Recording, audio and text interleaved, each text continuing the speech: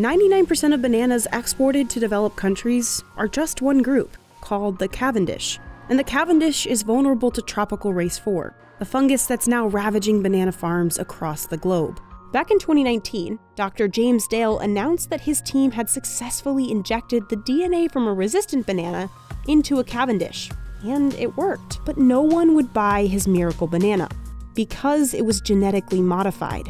In the EU, most member countries have either partly or fully banned GMOs. In the US, they're allowed but feared.